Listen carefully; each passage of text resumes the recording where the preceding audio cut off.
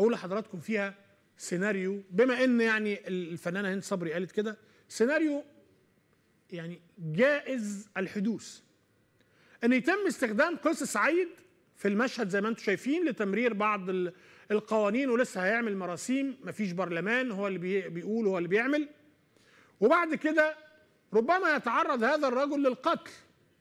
وأكيد إذا تعرض للقتل يتهم حزب النهضة ويتهم الإسلاميين بهذا القتل ويزج بهم إلى السجون ويعذبوا ويعلقوا على أعواد المشانق وتضرب الفكرة الإسلامية والحركة الوطنية في تونس. ده سيناريو من الممكن جدا حدوثه من الممكن تماما إنه يحصل.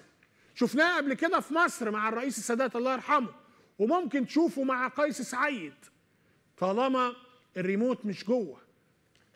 ب- بتتكلم عن السلمية وبتتكلم عن الاحتجاج السلمي وثابت حتى قدام البرلمان ومفيش اعتصامات. ولكن من يدير المشهد؟ هل يريد السلام لتونس؟ أعتقد ما كانش مول آه، أنشطة تمرد تونس ما كانش مول عبير موسى وتعطيلها الحياة البرلمانية أو تعطيلها للبرلمان في تونس ما كانش حاجات كتير. ولكن من يريد السلام لتونس هيقف مع تونس وهيتكلم عن الحرية والديمقراطية وسيادة القانون.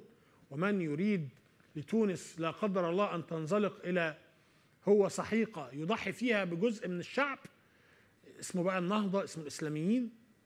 آه، ده اللي ممكن يعمل أي حاجة بما فيها القتل. لا أتمنى حدوث هذا السيناريو ولكن للأسف هذا السيناريو موجود على الترابيزة ودي تحليلات لبعض السياسيين اللي شايفين إن ممكن أعداء تونس يقوموا بهذه ال- ال- ال- ال- الخطوة آه، نكاية في الإسلاميين وتخلصا من قيس سعيد. أتمنى ان ده ما يحصلش ويكون الناس في حالة من الوعي وربنا يسلم تونس وشعبها. بشكر حضراتكم ونتقابل بكرة آه، في حلقة جديدة من علوم كملين. نشوف إيه الأخبار وإيه اللي حاصل وإيه الجديد. شكرا ليكم. السلام عليكم في أمان الله.